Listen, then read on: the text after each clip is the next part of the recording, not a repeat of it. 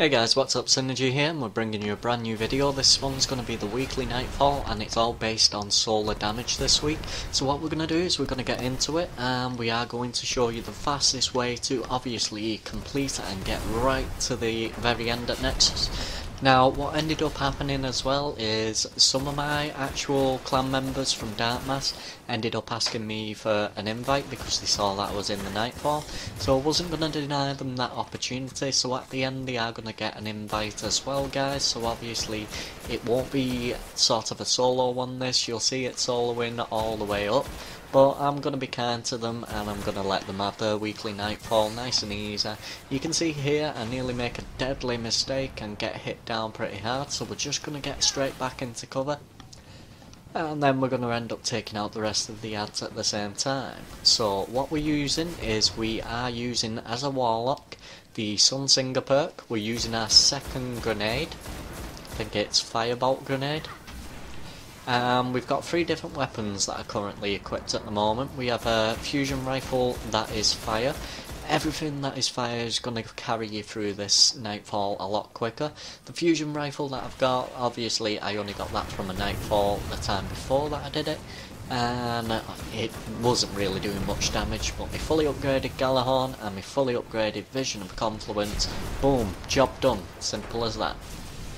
Now you can see here what I'm doing is I am using those firebolt grenades just to clear out the packs, nice and easy. So obviously this will be the fastest way for a warlock to do it. At the same time I'm just making sure I don't get damaged too much in the process. And we're moving on to servitor number two, we're just going to plant a rocket in him and he gets one-shotted. Now we've got a pack over here, we're just going to plant another rocket over there. What we're going to do is we're going to keep nice and easy on the heavy ammo synths, and we're going to use them at the right time.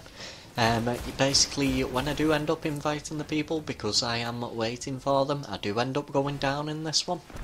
However, they've already spawned in, and that's mainly due to the Praetorian actual teleport. You'll see it exactly when we get up to it anyway, guys. Right, so we're using our second super. And we're just going to clear out these packs here. We're not too worried about the servitor at the minute. We can focus on him in a minute. There we go. We'll plant a rocket straight to his face. And we are moving on. okay, the upper level's open. Right, now the upper level's open, so all we're going to do is we're just going to take out the rest that are right here. Now, instead of going your regular way, guys, I'm going to show you a different way to go. Some people may already know this already. Right, so we took out the three that are going to be the threat. We're just looking around, seeing if there's any heavy ammo that has dropped anywhere, just in case. Because we can always use more rockets, and you can never really have enough rockets in the Nightfalls. That is the window that we're going to be jumping up on. You can see me doing it right here actually hit the ledge there, so I'm just going to go in for a second time, and I end up falling down. so that was a complete fail, but here we go, straight through the window, and we can just skip all the rest of them ads. If you don't skip the ads, chances are you will get some heavy ammos from those packs as well. But I'm just showing you the quick way of doing it and get it done. Now what we're going to do here is we're going to skip as much as we possibly can. So the first ones we can't really skip, so we just need to take a few of them out.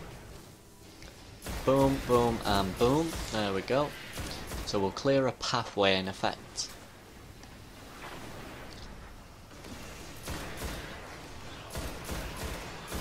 Right, now that we've cleared the pathway, we're just going to take out the rest of these ads anyway. So we're kind of bored at the same time, so we could have done this quicker just by running through. And Burning Man, this is only 11 minutes anyway, so I'm not going to keep you waiting too long. You obviously want a good fire weapon for these, and just shoot them in the eyeball, take the shield down nice and fast. Once the shield is down, they'll get taken out nice and quick. We're going to use that firebolt grenade in a second, as you can see just there. Obviously that was a complete fail, so we're just going to take one out. We've got our supercharger now, they're going to be spawning from both sides. You need to bear this in mind guys. We'll just shoot that harpy, but we know the goblins are going to be coming as well. And you'll see them right there. Right now for the goblins we are using that firebolt grenade and we're just going to clear out the packs as much as possible. You can see the orbs spawning right there.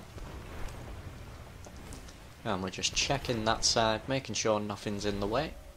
Going to use our Gjallarhorn in a minute. Take out the Axis Goblin, which is basically a wannabe Praetorian. Now we're going to shoot the Axis Hobgoblins. There we go. Now you can see Chicken Run has joined the party, and obviously there'll be Connor as well. They're the two people who's going to be asking for an invite, so we're not going to deny him that chance, and obviously um, that's what friends do. They help each other out. Right, so we got one Axis Hobgoblin. There we go, we've made him shield, so we can just take him out nice and easy there.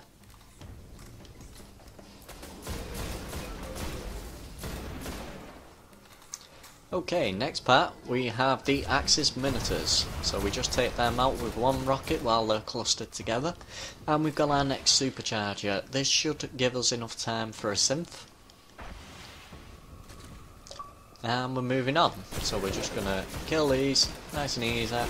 Obviously you do get hit down a little bit, but they're not gonna kill you as long as you kill them nice and quick. The next part we're going to move on to in the Sunsinger is we're going to be using that super and the firebolt grenade again. So this is going to be your warlock tutorial guys. And girls, sorry. Alright, here we go. So all we're going to do is we're just going to nade and spam nade. Don't need to waste any ammo on anything until those nades run out.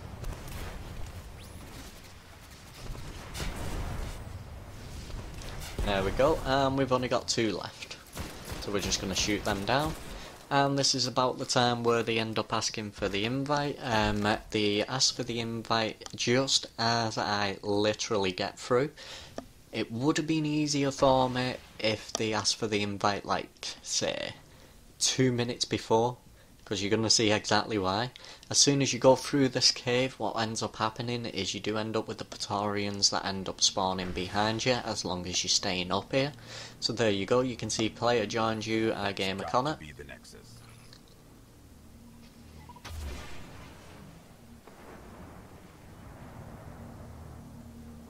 And we're just planting some rockets in the Minotaurs at the bottom.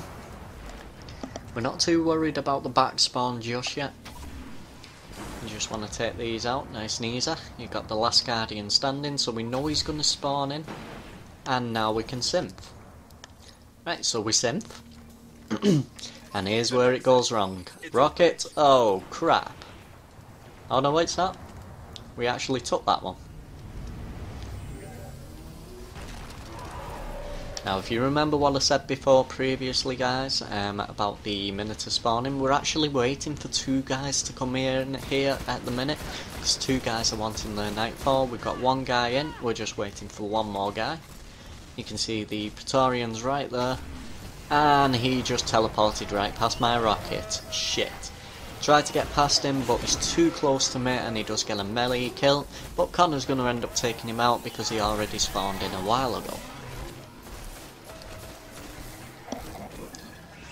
Connor almost gets meleeed, ends up reviving me. Right next to the Praetorian. Not really appreciated that one, but whatever does the job. There we go, he's been taken out as well, so the Minotaur's just gone down. So all we're doing is we're waiting for Chicken Run now. Now, here's the good thing guys, what we're going to show you is we're going to show you dropping the Nexus as well and in a separate video I'm going to show you how you can do this a lot quicker at the end part. It's going to be a little separate video just solely because of the way this one panned out. And we're just going to show you some tips and tricks on how to drop him in under probably 10 seconds to be honest with you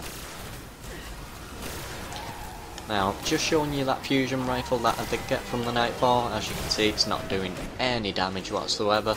Well, it only does damage once his shield is off.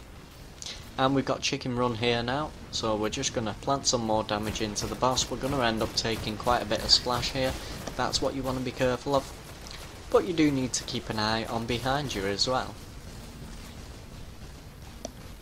So you can see Connor's just looking up the hill for him. And here he comes.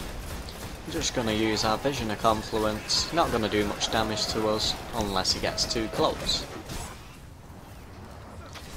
And now what we're gonna do is we're gonna end up finishing off this boss. Do do do do do. One more rocket should do it, and there we go. Nexus is officially down. 11, well, actually 10 minutes, 27 seconds that. And that's from start to finish. Now, bearing in mind that I was soloing it to begin with, it's just to show you that this week's Nightfall is very easy for you to solo, guys. All you need is some good fire weapons. I strongly, strongly recommend the Gjallarhorn, and obviously the Vision of Confluence Scout Rifle. They are going to literally carry you through this. Right, for now guys, don't forget to like, comment, subscribe, and peace out.